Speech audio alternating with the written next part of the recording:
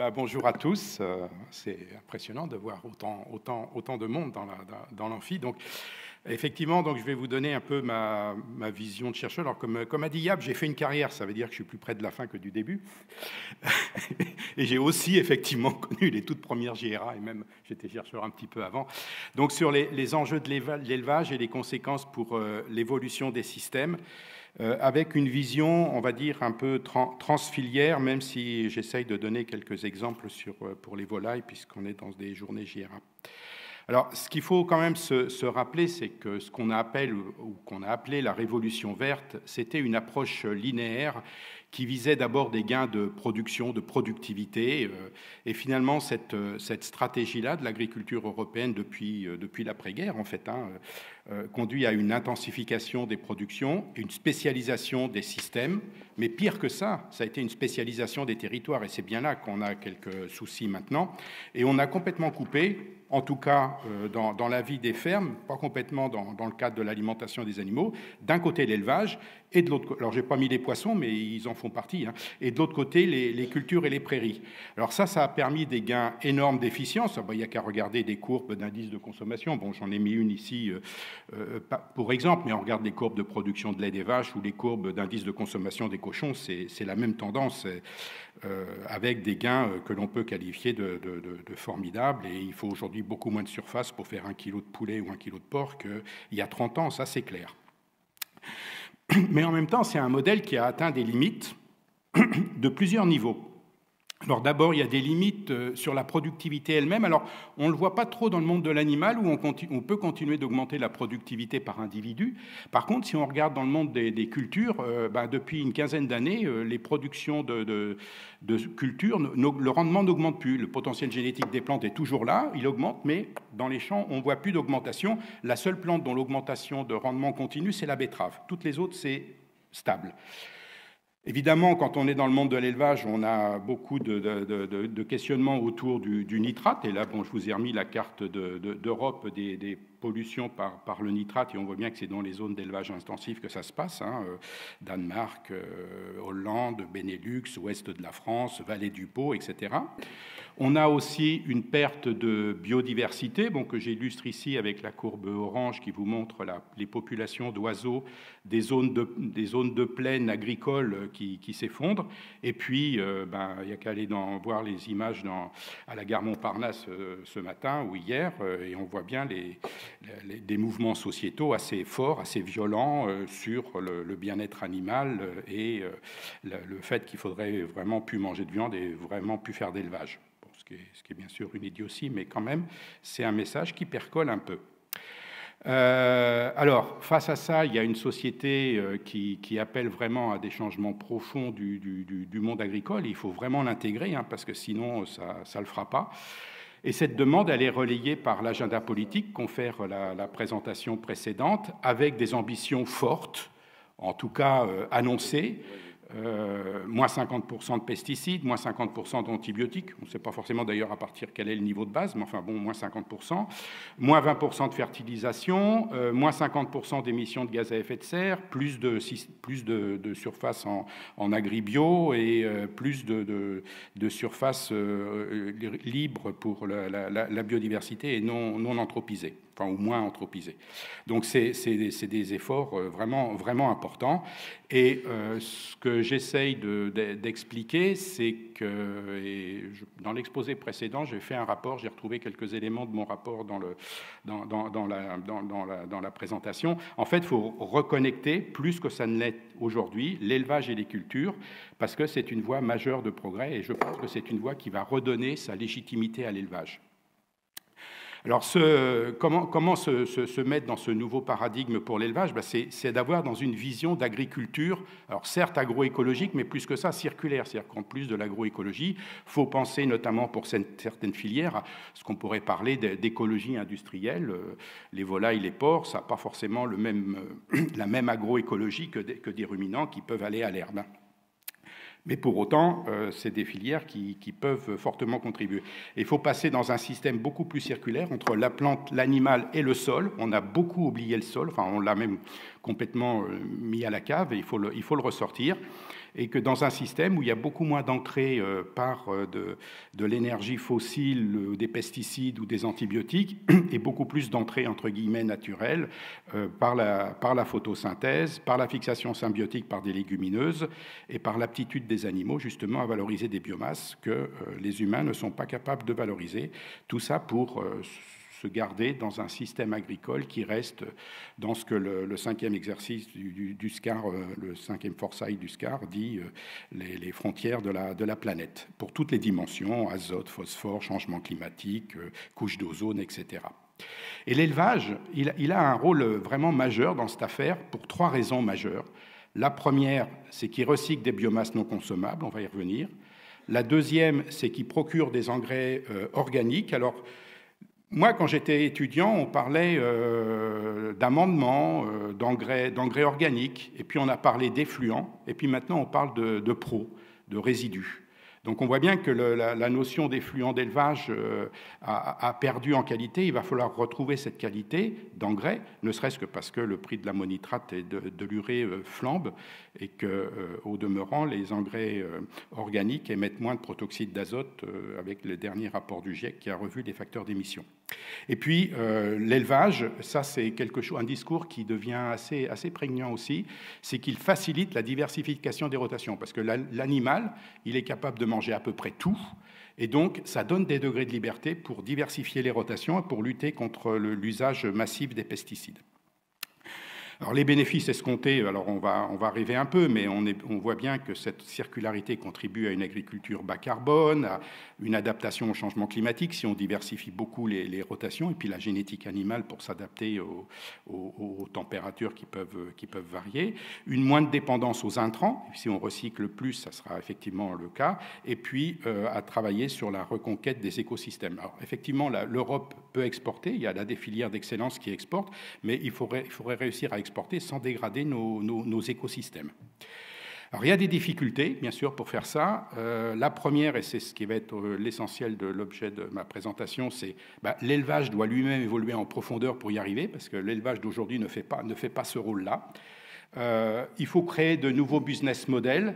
Euh, évidemment, euh, on a beau dire à un céréalier, il bah, faudrait mettre de la luzerne dans tes rotations pendant trois ans parce que ça va, ça va être super bien pour tes sols, pour le stockage de carbone et pour les pesticides. S'il n'a pas de, de clients pour sa luzerne, il n'en fera rien. Donc il ne le fera pas. Donc il y a vraiment des nouveaux business models à, créer euh, pour la gestion des effluents, tout pareil d'ailleurs.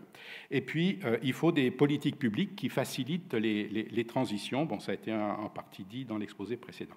Alors quatre points dans l'exposé quelque chose autour d'élevage, climat, ressources, quelque chose autour des écosystèmes, autour du bien-être et de la santé, et autour de la consommation. Mais bien sûr, je vais, je vais survoler ça. L'objectif est de montrer que tout est en fait un petit peu lié.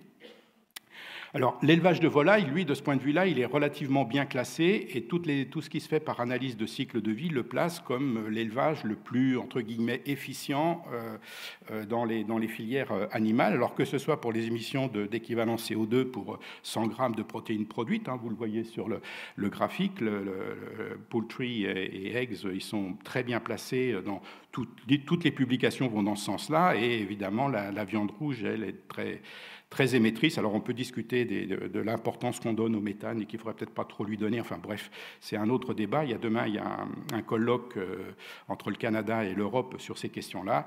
On verra. Mais en gros, on voit bien que les volailles sont bien placées sur ces aspects euh, émissions de gaz à effet de serre en relatif à d'autres élevages, même si elles sont moins bien classées que les végétaux, bien sûr. Euh, les volailles sont aussi très bien classées en termes d'efficience euh, de conversion des protéines végétales en protéines animales, hein, puisqu'on fait 0,4, 0,5, enfin 0,45 kg de protéines de poulet par kilo de protéines végétales consommées. Alors évidemment, ce n'est pas les mêmes que les protéines végétales des bovins extensifs, et on reviendra sur cette classification après. Et puis, c'est aussi une production qui est très efficiente en termes d'utilisation des surfaces, puisque on va dire que dans les pays... Euh, d'Europe, ayant une bonne technologie, Danemark, Allemagne, France, etc., on peut faire 300 kg de protéines de volaille par hectare mobilisées pour nourrir ces volailles ce qui au passage n'est pas tellement plus faible que certaines euh, céréales et oléoprotéagineux. On parlait du tournesol tout à l'heure. Un champ de tournesol fait 400 kg de protéines, donc on est, c'est plus élevé, mais enfin c'est pas, c'est pas du simple, c'est pas dans un rapport de 1 à 10. Le, système qui est effectivement le moins efficient de ce point de vue-là, c'est la viande bovine, mais évidemment un hectare de prairie permanente dans une zone de montagne, c'est pas non plus un hectare de, de plaine. Alors quand on regarde cette compétition entre alimentation animale et alimentation humaine, en fait, il faut regarder quelle part du végétal consommable par l'homme est consommée par l'animal et quelle part des protéines animales que l'on produit sont consommables par l'homme. Quand on a un œuf ou du lait, bon, bah, à peu près toutes les protéines sont consommables, à part quelques pertes très, très mineures. Par contre, quand on a une carcasse d'animal, ben, on ne mange pas tout, hein, euh, toutes les protéines. Donc euh, il, faut, il faut vraiment regarder aussi cette fraction-là de l'animal. Et du coup, c'est aussi des, euh, cette fraction-là, elle, vient aussi des cultures alimentaires. Quand on a du, poulet en découpe, on mange moins la peau, et donc, quelque part, on perd en efficience globale sur le système. Hein. Alors on a fait un travail dans le cadre du, GIS euh, Avenir Élevage où on a regardé pour toutes les filières animales comment se classait euh, la production de protéines en fonction de ce que l'animal mange comme protéines consommables par l'homme. Alors on voit d'abord qu'on n'est pas tant que ça en compétition avec l'alimentation humaine parce qu'on n'est pas très loin de, de 1 pour 1 en moyenne avec euh, pour toutes les filières des systèmes qui sont en dessous de 1, donc qui sont moins efficients et qui du coup consomment des protéines, et d'autres qui sont au contraire très efficients et sont plus producteurs de protéines qu'ils n'en consomment. C'est typiquement le cas des, des bovins laitiers à l'herbe. Hein. Une vache laitière, elle est efficace si elle mange de l'herbe, pas quand elle mange du maïs soja. C'est quand elle mange de l'herbe qu'elle est efficace sur ce critère-là.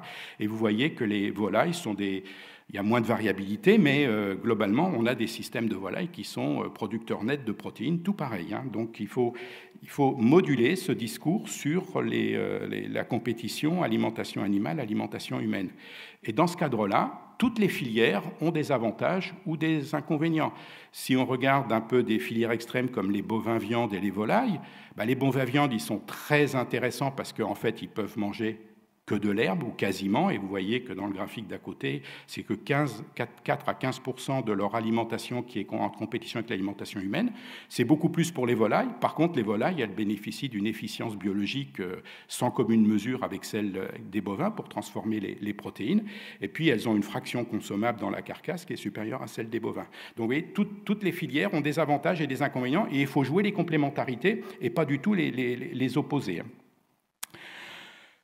Autre point euh, qui est important sur la valeur euh, de les, filières animales européennes et françaises en particulier, c'est la consommation de soja importé. Alors quelles sont les pistes de progrès? On voit bien que là, ici, euh, effectivement, la volaille est très efficiente, mais elle consomme beaucoup de, soja importé, avec les problèmes derrière, on n'y revient pas, de déforestation, d'alimentation non OGM que veulent les sociétés européennes, et puis bah, les aléas au marché les, crises du soja, ça date pas. Hein. Le premier bouquin, euh, la première crise, c'était en 73 et c'était un bouquin qui s'appelait Le monde du soja. Donc on, vit dans cette crise-là, en fait, euh, avec des périodes hautes, des périodes basses, mais ça, existe. Alors qu'est-ce qu'on peut faire pour les, dans le cas des, productions animales européennes pour se passer un peu de ce soja importé notamment dans le cas des volailles? Alors d'abord, c'est de faire du soja européen, voilà, donc on peut quand même se poser des questions. Pourquoi on a investi autant d'efforts de recherche sur le maïs et si peu sur le soja? Bon, parce qu'on avait du soja pas cher qui était importé, puis on n'a pas réfléchi plus loin que ça. Euh, alors en plus, bon, peut-être que la génétique du soja est plus compliquée que celle du maïs, ça sera moins simple. Mais enfin, quand même, on peut faire des progrès. Et puis, il y a d'autres sources de protéines. Alors, des matières protéiques locales, alors locales euh, au sens européen, et on voit bien qu'aujourd'hui, euh, les tourteaux de tournesol pro qui viennent d'Ukraine, bah, c'est pas si local que ça. Mais bon, il y a les protéagineux, les tourteaux de colza, les tourteaux de tournesol pro. le projet Cap Protéines en, France, c'est vraiment ça qui est, visé. Par contre, notamment dans le cas des, volailles, un peu moins peut-être pour les, ruminants ou les porcs, ces protéines-là sont quand même de moindre valeur que le soja et c'est très compliqué de remplacer le soja. Alors à côté, on a peut-être aussi des, ressources alternatives, hein, les protéines animales transformées, les protéines d'insectes, on parle peu, mais finalement, euh, une, volaille, ça peut manger des vers de terre. Donc le vermi, pourquoi ne pas faire de vermicompost, qui permettrait peut-être aussi de régler des problèmes d'effluents dans certains territoires? Ça, c'est des protéines qui ont une bonne valeur nutritionnelle, mais qui ont plusieurs problèmes. Un, un coût élevé, deux, une acceptabilité par la société. Pas certain que la société euh, accepte si facilement que les volailles mangent des protéines animales transformées, même si elles viennent de porc. Et puis les volumes produits, euh, même dans leurs rêves les plus fous, les producteurs d'insectes en Europe euh, tablent sur 5 millions de tonnes de protéines produites. Par rapport à ce qu'on importe en soja, c'est les 30%. Donc de toute façon, ça ne sera pas la solution à tout. Mais en tout cas, pour les volailles, c'est clairement une, piste qui, mérite d'être traitée. Puis j'ai vu d'ailleurs que dans les journées, il y avait des, posters ou des exposés sur cette question-là. L'autre point, c'est les gains d'efficience des animaux. Bon, bah là, on est allé euh, très loin en volaille et c'est pas sûr qu'on puisse, euh, qu'on puisse aller beaucoup plus loin, puisqu'on se heurte aussi à d'autres limites biologiques depuis les animaux. Et puis, les demandes sociétales, notamment pour le bien-être animal, vont pas faire qu'on va encore accroître l'indice de, diminuer l'indice de consommation. Au niveau des écosystèmes, euh, ben oui, euh, les, élevages, alors j'allais dire les ruminants, mais en fait c'est tous les élevages, sont, euh, sont, sont cause de, pollution clairement pour le nitrate et puis pour l'ammoniac. Bon, vous voyez ici des, des résultats, c'était une expertise scientifique collective que j'avais coordonnée au niveau de l'INRA il y a quelques, quelques années, où en fait on voit que les 80% de l'azote d'origine, enfin, l'azote d'origine agricole qui est présent dans les aquifères c'est euh, de l'azote qui provient de l'élevage. 90% des émissions d'ammoniac proviennent, et donc des petites particules proviennent du secteur agricole, principalement l'élevage, 90%. Hein, et puis ces émissions sont concentrées, euh, ça a été dit déjà, dans certains territoires intensifs. Et je vous ai mis ici la carte européenne des émissions d'ammoniac. C'est la même que celle des émissions de nitrate. Et on retrouve l'ouest français en pôle position. Pour autant, il y a des progrès qui ont été faits, il ne faut pas le nier, même s'ils commencent de se stabiliser euh, un petit peu aujourd'hui. On voit bien que si on regarde les cartes du, ministère euh, sur l'évolution des teneurs en nitrate des eaux, ben, euh, c'est vert, c'est-à-dire que ça baisse relativement, assez rapidement d'ailleurs, dans certaines zones de Bretagne, alors que ça augmente dans d'autres territoires qui sont plutôt des territoires de grande culture.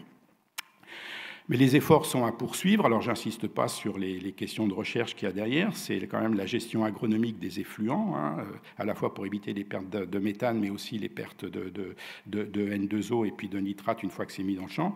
C'est peut-être et même sûrement de nouvelles euh, filières de valorisation des effluents. Quand on regarde, par exemple, la Bretagne, chaque ferme bretonne est en moyenne très efficiente. Hein. le bilan azoté n'est fait partie des meilleurs euh, d'Europe. Il n'y a vraiment pas à rougir là-dessus, sauf que euh, beaucoup de fermes sur un tout petit territoire, et eh ben, ça fait beaucoup d'azote au bout du compte, même si chaque pixel est très performant. Donc il va, il va de toute façon falloir changer d'échelle pour trouver des solutions, et ce n'est pas que l'optimisation de tous les systèmes euh, qui va, qui va le permettre.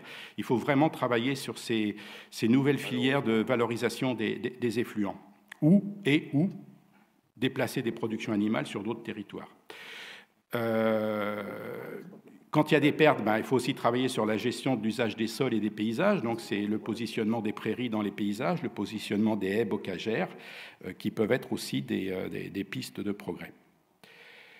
Puis, dernier point, quand je vous ai dit que l'élevage permettait de, réduire un peu l'usage des, pesticides, finalement, le seul progrès, Dieu sait si le, projet, euh, le programme Ecofito est critiqué en, France du fait des investissements qui sont faits et du peu de résultats, mais un des résultats très clairs du projet euh, Ecofito, eh ben, c'est que les indices de fréquence de traitement des cultures, un, sont plus faibles dans les fermes de polyculture élevage, mais deux, diminuent plus vite que dans les autres fermes. Alors c'est bien sûr... Euh, on voit tout de suite, en termes de surface, on va avoir tout de suite les, ruminants et le rôle de la prairie qui rentrent en rotation avec des cultures dans ce cadre-là. Mais c'est aussi vrai pour les volailles. Je vous ai euh, illustré ça ici avec quelques, photos de, volailles élevées sur parcours sous, sous, euh, sous, des, vergers, euh, noyers, pommiers, euh, tout ce qu'on veut. Et, on trouve aujourd'hui déjà des documents, je vous en ai mis un ici, qui, expliquent comment faire pour aller vers ce type de production qui certes restera marginal, mais montre qu'il est possible de réduire les IFT dans les cultures fruitières qui sont très élevées grâce à une utilisation astucieuse, alors bon, des volailles, mais ça peut être aussi le cas avec des moutons.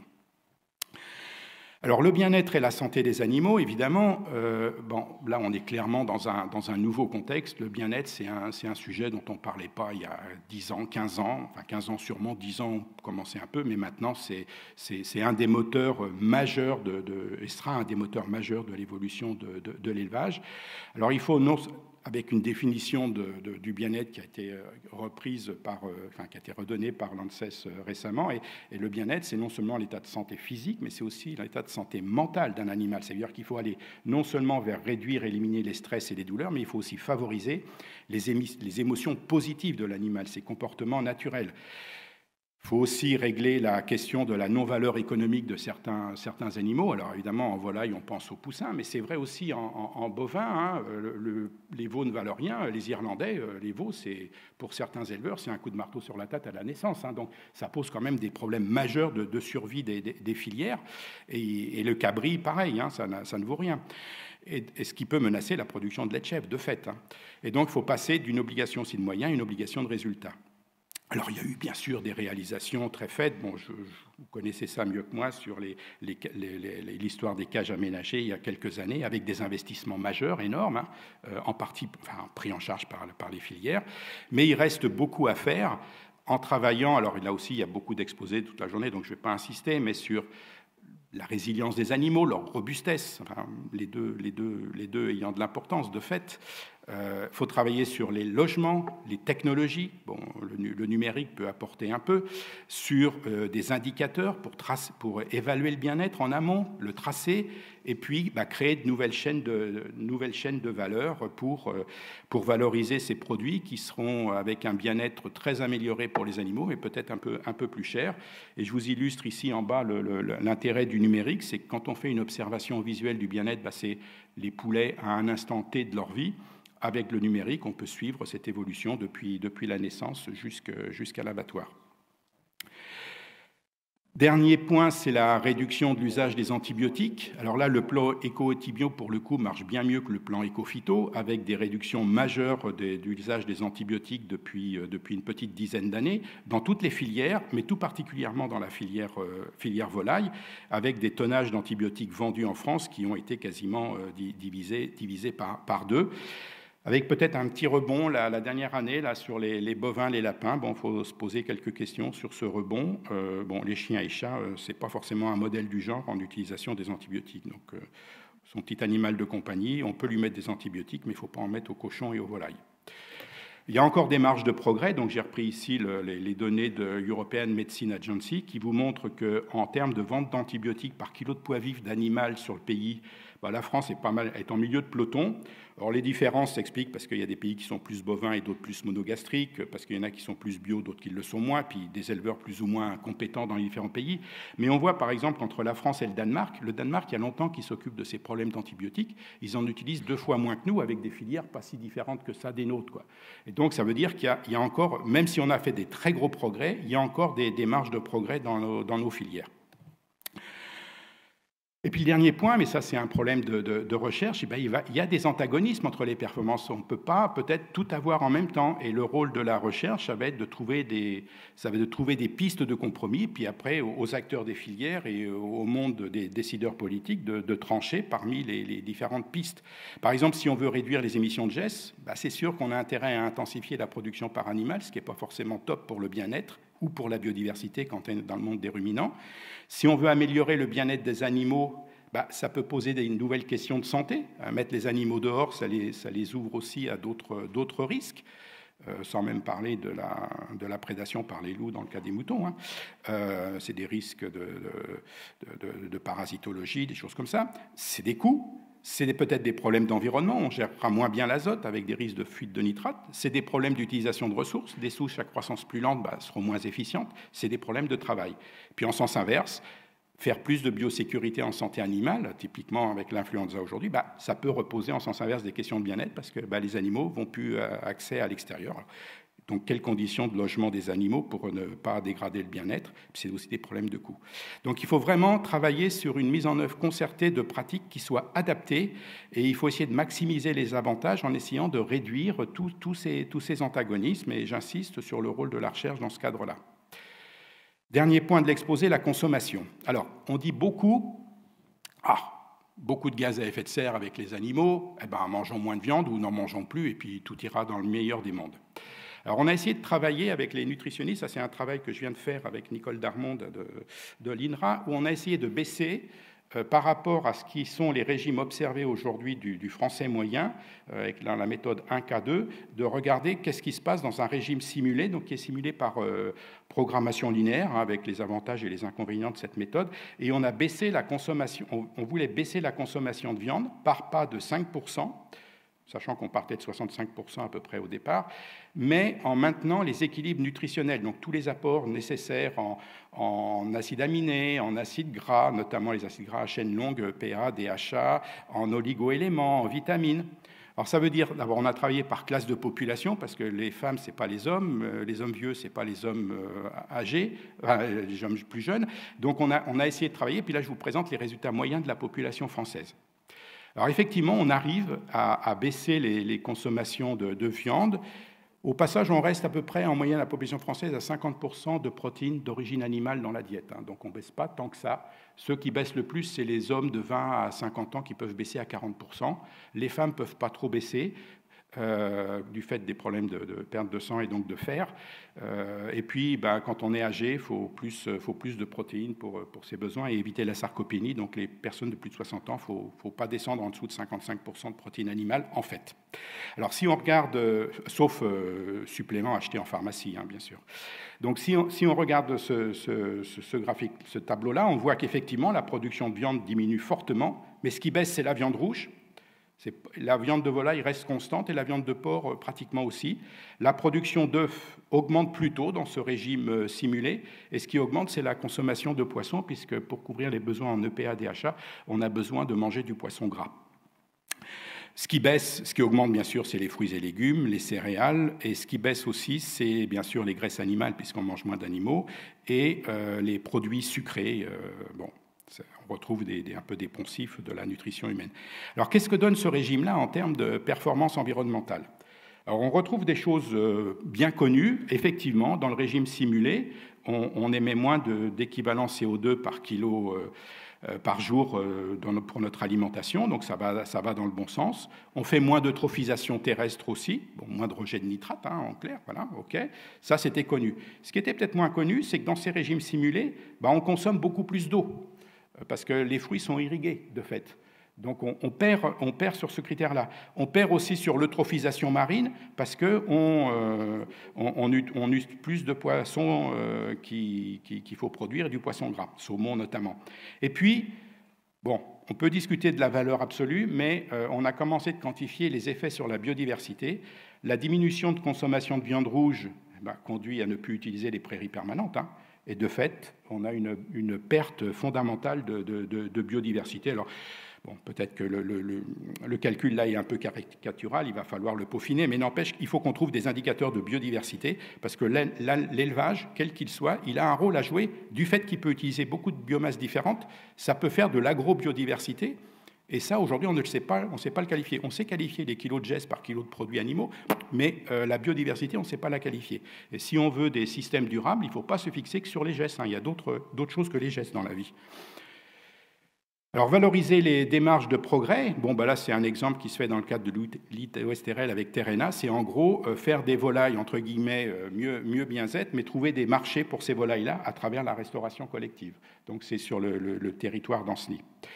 Et puis l'affichage environnemental, qui est, qui est un des points euh, très importants, environnemental et de bien-être animal, qui, je vous ai mis ici juste quelques logos pour vous montrer que c'est un mouvement qui est un peu une lame de fond partout en Europe et qu'il y a des discussions en ce moment, parce qu'évidemment les, les Hollandais sont jamais les derniers dans cette affaire-là, ils veulent trouver euh, un système un peu commun euh, en, Europe en travaillant sur comment les différents pays ont, travaillé. Et la France est assez en pointe là-dessus et l'ADEME pousse pas mal sur euh, son, bah, son éco-score euh, ou, un, indicateur adapté un peu plus précis que l'éco-score.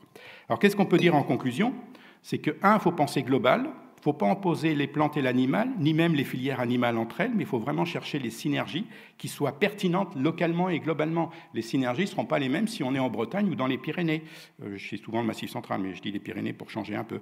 Euh, euh, les, effets de l'élevage sont bien plus nuancés qu'il n'est souvent dit. Oui, il y a des gestes, mais il y a plein de choses positives qu'il ne faut pas oublier. Et je, n'ai pas insisté sur ce qui a été dit avant, sur le volet économique, utilisation des territoires, etc.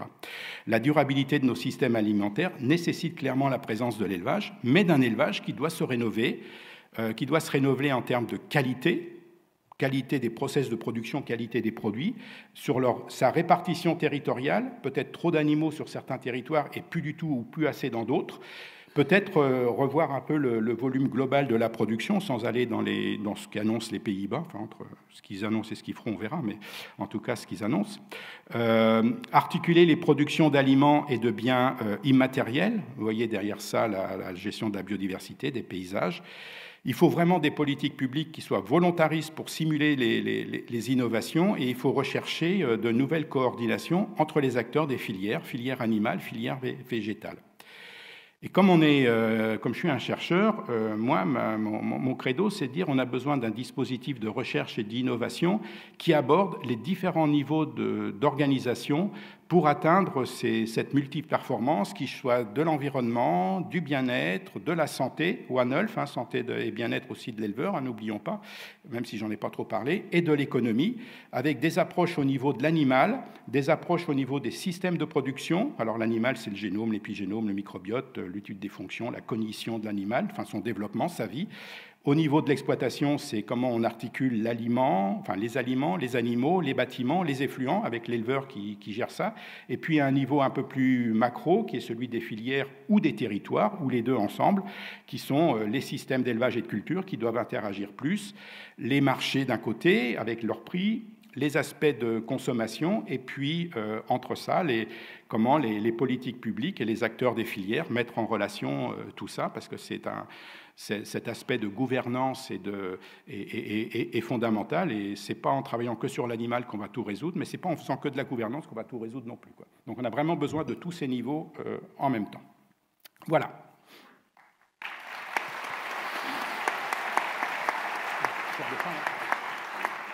Euh, Brigitte, vous avez parlé beaucoup de, la durabilité et, donc surtout avec un accent sur euh, à la table, avec des, dimensions des consommateurs, l'environnement. Et Jean-Louis a parlé de business model. Hein. Est-ce que pour l'Europe, est-ce qu'on a un business model? Oui, euh, mais pas un business model euh, au sens euh, français.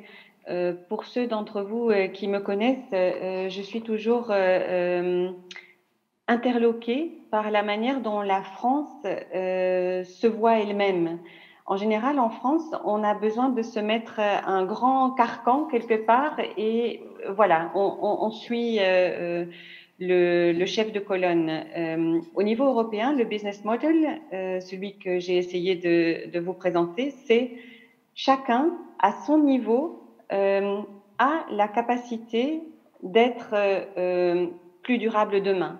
Et ce qui va être vrai pour notre éleveur de volailles dans le sud-ouest euh, sera différent de ce qui sera vrai pour euh, un éleveur euh, bovin dans le massif central. Et il n'y a pas du côté européen la volonté d'imposer un business model. Il y a la volonté de donner des outils pour que tous ceux qui ont de bonnes idées, et on croit beaucoup au fait que chacun a de bonnes idées, et certainement celui qui est dans son exploitation au jour le jour, il voit ce, ce qui marche, et s'il a un bon réseau euh, pour avoir accès à la recherche euh, qui est disponible dans son secteur et pour se laisser inspirer par euh, ce, qu'il entend, l'Europe met à sa disposition des outils pour qu'il puisse mettre en œuvre la meilleure solution à son niveau. Donc le business model, c'est chacun agit en fonction de ses conditions propres. Si l'action est bénéfique en matière de durabilité économique, environnementale, sociétale, l'Europe est là pour accompagner, y compris financièrement. Euh, merci beaucoup. En fait, j'ai une question pour toi, Jean-Louis. On, parle beaucoup de modélisation, de simulation. On voit que le nombre de paramètres à prendre en compte évolue. Tu as parlé de, voilà, de modélisation euh, à une échelle très globale. Mais comment tu vois l'évolution de ces manières de modéliser et de simuler pour euh, enrichir les, paramètres qui sont pris en compte pour, euh, avancer sur des scénarios transformants? Alors, il y a aujourd'hui plusieurs types de modèles et je ne suis pas un spécialiste de la modélisation, donc je ne vais pas donner de détails, mais en gros, euh, sur ces aspects, on va dire durabilité de notre alimentation, il y a les approches par ACV, mais en fait, c'est des approches qui valent pas grand-chose parce qu'on on met une hypothèse au départ et on vérifie que son hypothèse, euh, bah, on retrouve les résultats d'hypothèse du style euh, demain pour avoir une alimentation durable, puisque la viande rouge est très émettrice de gestes, bah, réduisons la viande rouge et on aura un régime plus durable. Bah oui, évidemment, on y arrive, sauf qu'on ne regarde pas l'évolution les, des apports de nutriments et la durabilité nutritionnelle des choses. Euh, et puis on ne regarde pas euh, bah, s'il n'y a plus de ruminants demain ou beaucoup moins, bah, que deviennent les surfaces euh, On les reboise, c'est de la végétation qui, va, qui part d'elle-même et qui va fermenter, c'est des bois qui vont brûler demain et on refera des gestes d'une autre façon. Donc il n'y a, pas cette vision-là. la deuxième approche, qui est celle que j'avais, ben, qu'on a tentée là, avec les nutritionnistes, qui est de dire on, travaille, on part du régime, et donc c'est fork to farm quelque part, et on regarde ce qui se passe. Et en fait, bon, je ne vais, pas, détailler les résultats, mais on arrive à un certain nombre d'incohérences. C'est-à-dire qu'on baisse tellement la consommation de viande rouge, mais comme on ne baisse pas la consommation de lait, un, on supprime les, vaches allaitantes en France, mais il reste encore trop de viande issue du troupeau laitier. Donc, euh, incohérence euh, économique, enfin, à moins d'une réforme profonde et d'une volonté politique de dire on détruit le troupeau allaitant français, mais je ne crois pas, puisqu'il a des services aussi. Donc, il faut, aussi une, approche qui rentre par, alors un peu à la mode pour ceux qui connaissent les scénarios euh, TIFA, la 10 Years for Agroécologie, qui sont trop macroscopiques parce que tu fais tout partout. il faut rentrer par une modélisation qui, a des enjeux territoriaux. Euh, et qui, dit, bah, qui disent, euh, parce que les business models seront effectivement pas les mêmes, bah, dans certains territoires, on a des, types de solutions et pas dans d'autres. Et il faut faire des, modèles qui nous permettent non seulement de tester des scénarios, mais de tester des hypothèses d'évolution des pratiques dans ces scénarios. Et ça, et ça on ne l'a pas. Alors, est-ce qu'on le fait à l'échelle d'un territoire, d'une région? Est-ce qu'on le fait à l'échelle d'un pays ou de l'Europe? Moi, je pense qu'il faut le faire à l'échelle de, l'Europe, mais aussi à l'échelle d'un pays, parce que les contraintes ne sont pas toujours les mêmes. La stratégie des Allemands en ce moment sur leur production animale. Je ne sais pas ce que ça va devenir maintenant, mais avec le nouveau gouvernement, elle, a l'air d'être aussi assez drastique et ce n'est pas vraiment celle de, des gouvernements français. Donc pour moi, il faut vraiment, qu'on aille sur ces simulations et simulations qui intègrent aussi les cultures. C'est-à-dire que euh, moi, j'ai été très frappé euh, dans le cadre de ma présidence de l'ATF. On a beaucoup discuté avec l'équivalent qui était Plant for the Future, qui ont des visions pas si éloignées que ça de, que nous, quoi, et qui pensent vraiment ce, recouplage animal-végétal avec une approche territoriale. On ne fera pas dans le bassin parisien ce qui se fait en Bretagne ou dans le Massif central, encore une fois, ou dans le Jura, mais euh, il y a des reconnexions à imaginer et donc de nouveaux valorisations économiques à trouver aussi en allant après vers la, consommation. Mais j'ai quelque part le sentiment qu'il faut, il, nous manque cette étape d'équilibre territorial des choses et d'équilibre entre filières au sein des différents territoires, en ayant quand même un principe de base que plus euh, il y aura de la diversité au sein d'un territoire, plus ça sera résilient face à des, chocs climatiques, face à des, chocs euh, sanitaires, face à d'autres, d'autres contraintes économiques euh, aussi. Merci. Alors, euh, moi, j'avais juste trois questions, notamment à destination de Brigitte.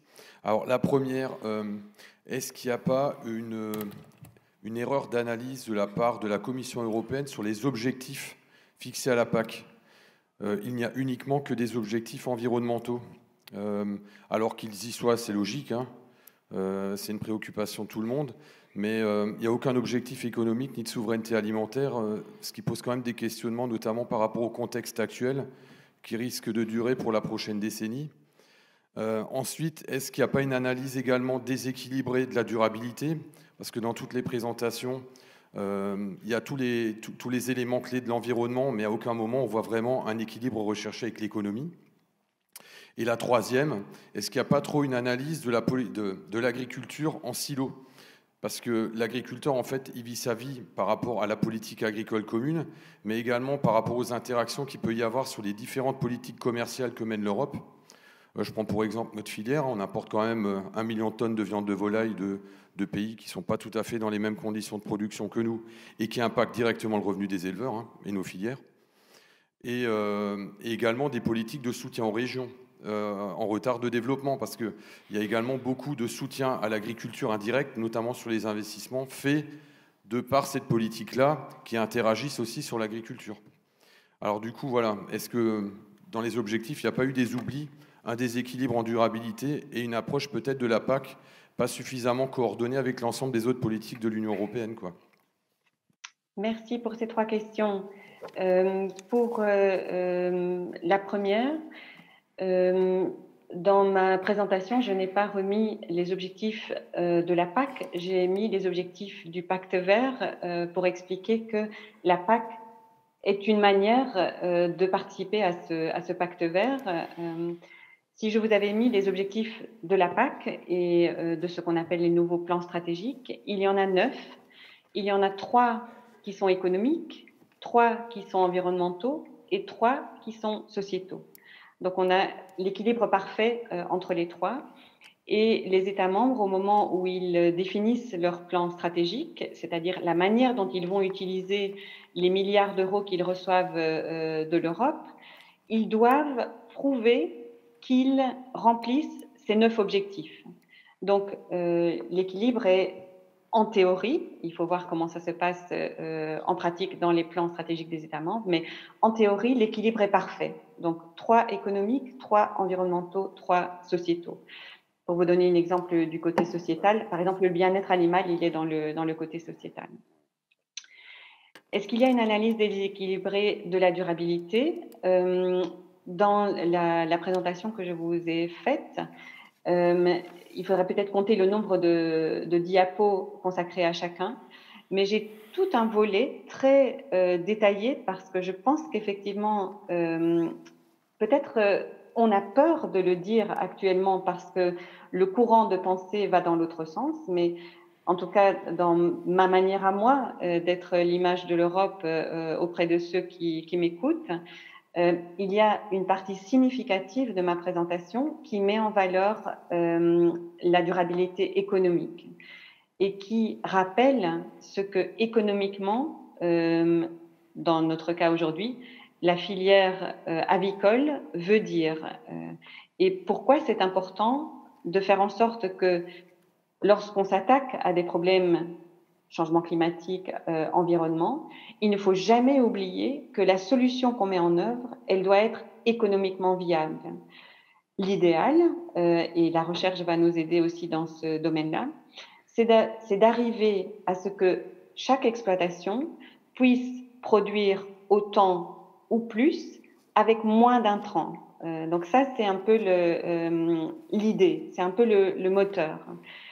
Mais l'idée n'est à aucun moment de ne plus avoir cette exploitation euh, sur le terrain parce que cette exploitation, elle a une valeur en elle-même. Euh, elle est riche euh, pour le territoire sur lequel elle, est implantée. Elle est riche dans la filière elle-même. Elle est riche dans l'économie de la région à laquelle elle appartient. Est-ce qu'on travaille en silo euh, Est-ce qu'on ne regarde pas l'agriculture euh, euh, avec par le petit bout de la lorgnette Je dirais de moins en moins. je pense qu'il y a eu une époque effectivement où il y avait un travail en silo. je pense qu'aujourd'hui c'est très très très très difficile, même si on voulait, de, de, travailler en silo parce que tous les autres pans de la politique, de l'économie, de la société sont constamment en train de euh, regarder ce qu'on fait pour euh, l'agriculture. J'ai bien compris que votre question est de mettre en regard la politique agricole commune et la politique commerciale. Je pense que vous avez déjà senti, d'ailleurs les intervenants l'ont cité, vous allez le sentir encore beaucoup plus dans les jours, les semaines et les mois à venir. Et la guerre en Ukraine a un impact majeur à, ce niveau-là l'ambiance actuelle, euh, et je ne suis pas en train de dire que c'est positif ou négatif, c'est simplement un constat, l'ambiance actuelle est un repli. Donc un, peu chacun s'est dit, je dois pouvoir tenir le coup tout seul, et donc je préfère fermer euh, ma porte, que ce soit pour les importations, pour les exportations. C'est un peu ce que ce, qu'on ressent. Je pense qu'on doit tous faire le, bilan euh, juste de la situation. Euh, on ne va pas pouvoir résister à ce, à ce repli et euh, au, fait que de plus en plus on entend parler de cette euh, souveraineté alimentaire.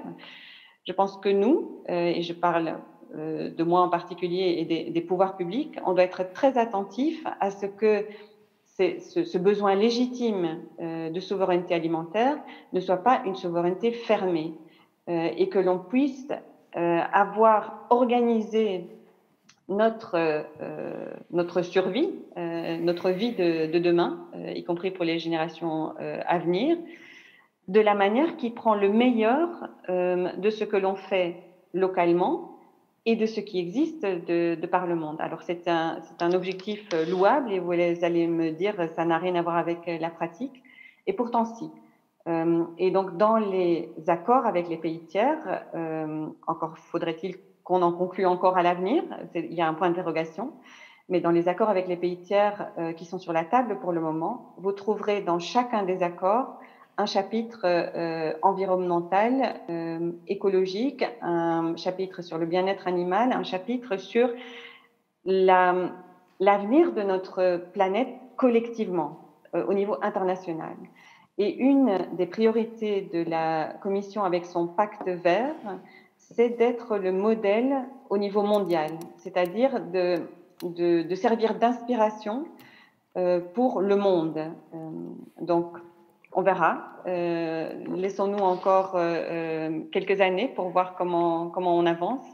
Mais certainement, il y a une vision globale à l'heure actuelle, si ce n'était pas le cas par le passé, en particulier euh, entre la politique commerciale et la politique agricole.